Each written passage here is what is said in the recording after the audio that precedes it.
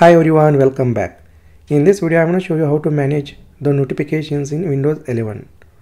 Well, first, let us access your notification settings. So go ahead and click on the notification center over here. So which is a little speech bubble icon on the bottom right corner of your taskbar. So just click on it and here you can see notification settings. So go ahead and click on it.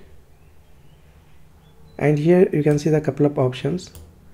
If you want to turn off the notifications you can just click on the toggle button over here. So this will turn off the notifications okay? So this is how you can turn on and off the notifications. Next if you want more control scroll down to the notifications from apps and other senders section. Here you can turn notifications on or off for individual apps. For example here consider this is the app so if you want to turn on notifications on or off per particular app you can just click on this toggle button. Okay?